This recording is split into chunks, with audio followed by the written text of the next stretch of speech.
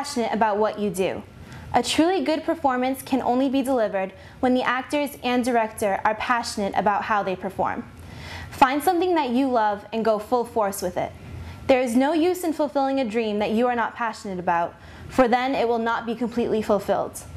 Be passionate about life and be passionate about your dreams. There's a world filled with millions of opportunities out there just waiting for us to take them. Now is our time to grasp these opportunities to really achieve our dreams. Now, as we move on with our lives and leave our high school in our wake, let us go on to make our marks in the world.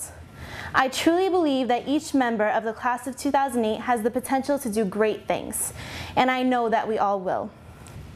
Christopher Reeve once said, so many of our dreams at first seem impossible, then they seem improbable, and then, when we summon the will, they soon become inevitable.